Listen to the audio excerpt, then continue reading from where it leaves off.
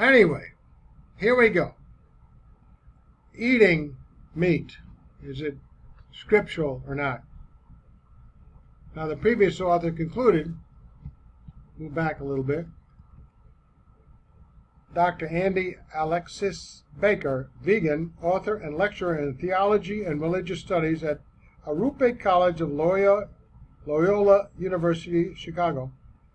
He said, I did not then and do not now think I had all the answers. But when I looked at how God calls people to live, I don't think he looked in Scripture for that. I knew that the arc of my life had to bend justice toward peace and toward compassion. Well, not in, not specifically in any passage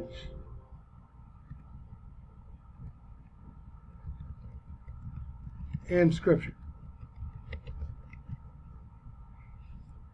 you want to find out the issues of this, go to Paul's epistles and read how God calls people to live via the Apostle Paul or any place in the Bible.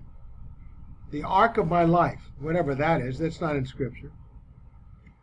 Bend justice. You don't bend justice. Justice is not bent. God's justice is specifically straight and narrow, and that's it. Toward peace. You can't bend justice towards peace. Sometimes there's a time to go to war. Sometimes there's a time of God's judgment. Sometimes there isn't. Sometimes there's a time of God's grace. You don't bend justice anywhere, and you don't bend it toward peace. If you make peace with your enemy by virtually capitulating to the enemy's desires, you're not doing a godly thing. And toward compassion, Sometimes judgment requires punishment. Other times judgment requires compassion. It depends. So go to Paul's epistles on this and determine that for yourself without trying to rewrite Scripture. Well, now he goes to add, including animals in that arc of compassion is something many Christians are now embracing. So you're going to go against God and say, I'm not going to do your evil thing, God. You're not having compassion on animals. You're allowing people to kill animals, not have compassion on them, and eat the animals. Okay, fine. This is not in Scripture. It's irrelevant about an arc of compassion. It's not even in Scripture. It's not what you eat. It is how you are studying and obeying Scripture by the leading of the Holy Spirit. Most likely, most of the authors mentioned are not Christian because they have not trusted alone in Christ alone for eternal life, excluding anything they might do, including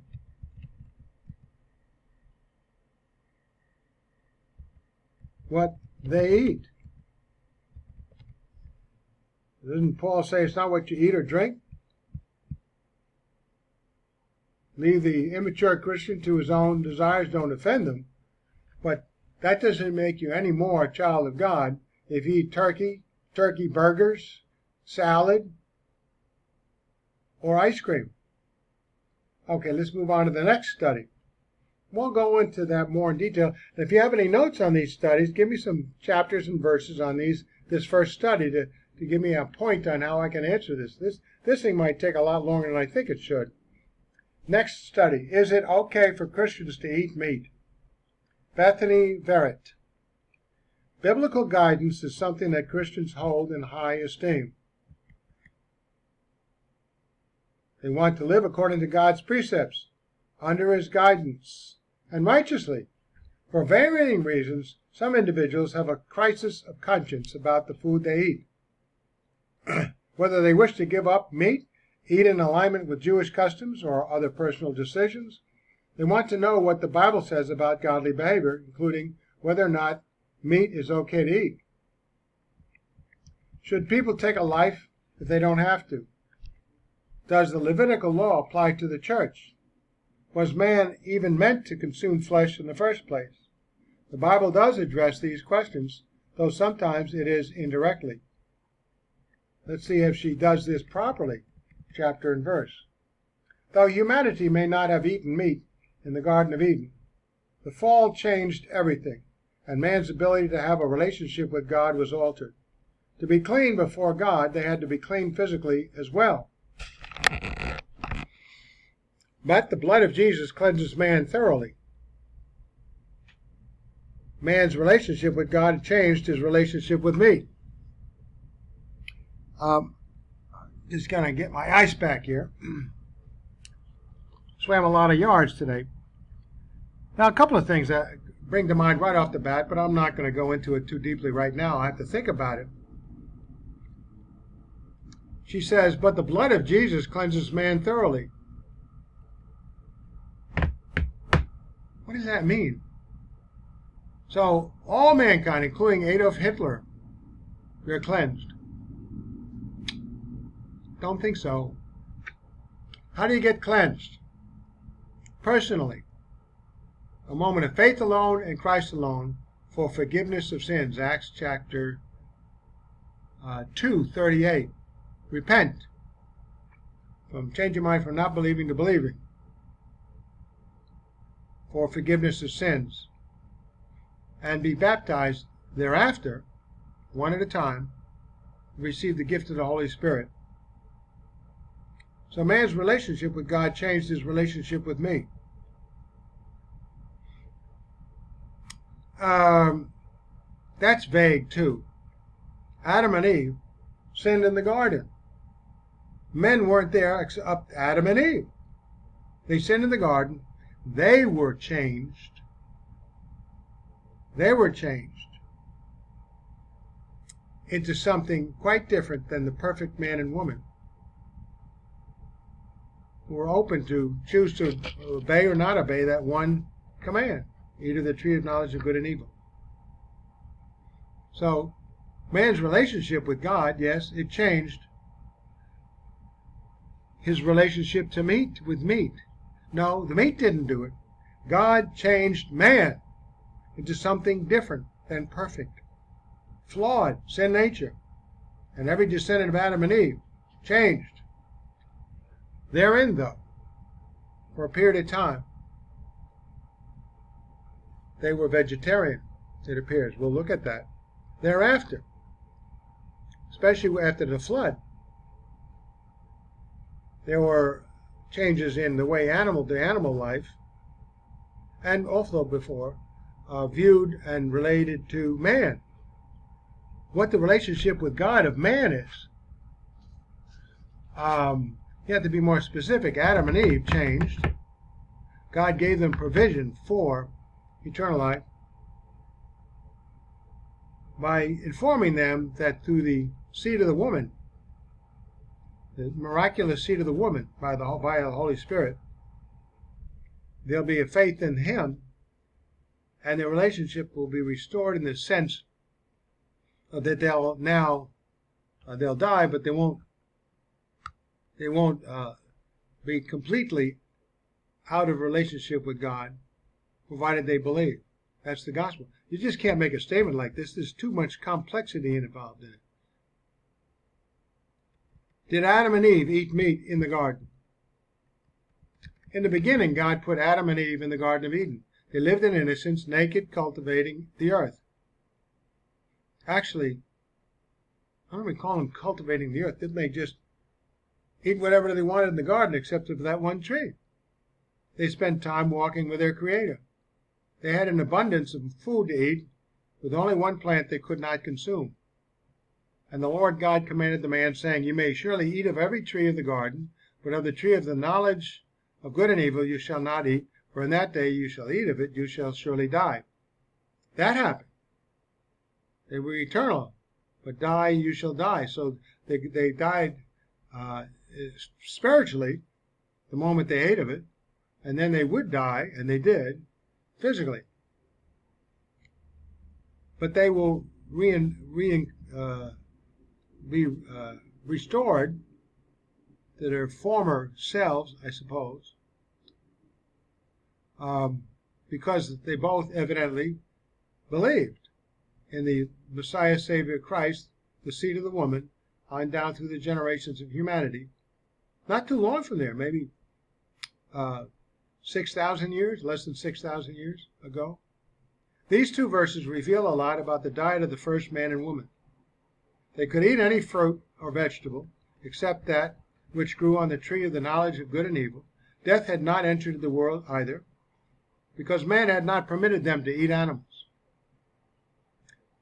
Um, because God had not permitted them to eat animals. I, I she's making it up as she going.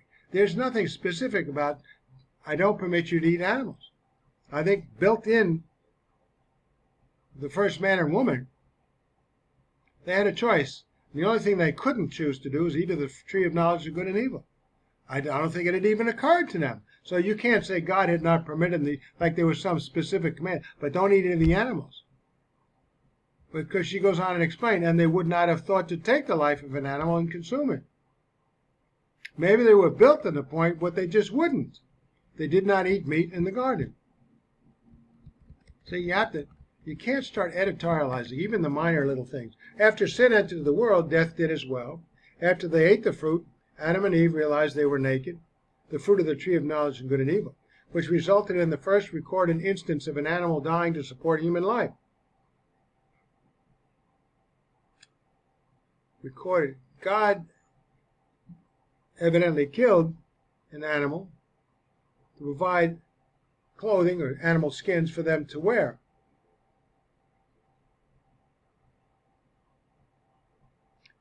It didn't support human life. It was just a, a, a covering to signify something, to signify that they were going to have an eternity in heaven despite what they did in the garden, because they trusted in the seed of the woman to make provision for that eternal life by making provision for their sins. And the Lord God made Adam and for his wife garments of sins and clothed them. So he clothed them, but they didn't support life. See, you add that subtlety in there. The Bible remains silent about what people ate before, between the fall and the flood. Once the waters receded, God clarified what people could eat. The fear of you and the dread of you shall be upon every beast of the field, and upon every bird of the heavens, upon everything that creeps on the ground, and all the fish of the sea. Into your hand they are delivered. Every moving thing that lives shall be food for you. And I and as I gave you the green plants, I gave you everything. Now a thought comes to my mind here. If they eat of the tree of the knowledge of good and evil, being in charge of the entire life forms on the earth.